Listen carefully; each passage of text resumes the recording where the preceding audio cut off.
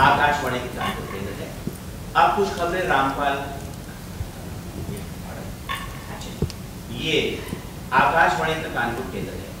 अब कुछ खबरें रामलाल क्रिकेट कप के बारे में आप लोगों को सुनाते हैं।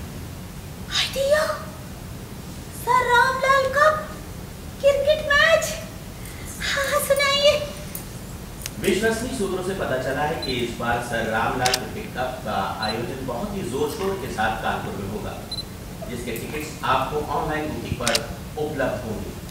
इससे पहले कि टिकट्स खत्म हो जाएँ, आप लोग जल्दी से जल्दी ऑनलाइन बुकिंग करवाएँ और कानपुर के ग्रीन पार्क स्टेडियम में इंडिया और ऑस्ट्रेलिया के क्रिकेट मैच का मज़ा लीजिए। आइडिया यहाँ कानपुर में मैच हम तो देखने जाएँगे मैच देखने जाएँगे। इंडियन क्रिकेट टीम के कैप्टन जिमी मिश्रा कानपुर में खेलने के लिए बहुत बेताब हैं। उन्होंने हमारे संवाददाता के साथ बातचीत करते हुए कानपुर के बारे में अपनी भावनाएँ व्यक्त की।